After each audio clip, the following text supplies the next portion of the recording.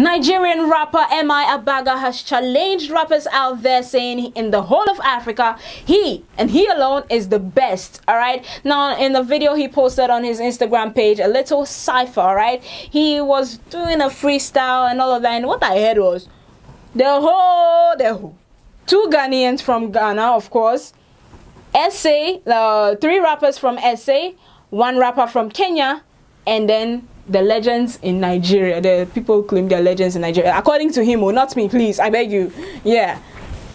No one can fit him. Only Dempe, actually, just Dempe can fit him. So I want to know who you think the two Ghanaians from Ghana, the two Ghanaian rappers from Ghana who can fit Emma Who do you think they are?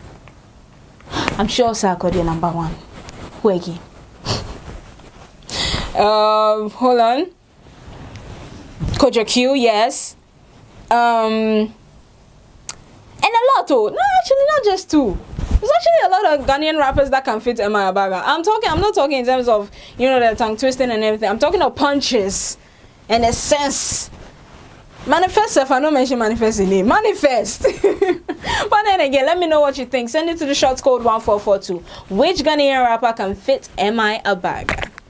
With an impeccable rep. I ate from rap and rap's terrain wasn't even arable yet. I've given you parables, quotables, plus I'm an animal. Only dude's notable to be standing so close to Judah, my homies, and you know who. So who really the best rappers in Africa? Who been top of the charts but still give them lyrical massacre?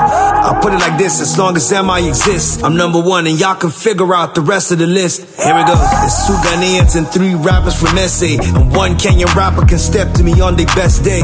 As for Nigeria, I give the legends they props, and then there's four niggas who did it like me. That's where it starts for real. Got it? Okay, let's do a recap.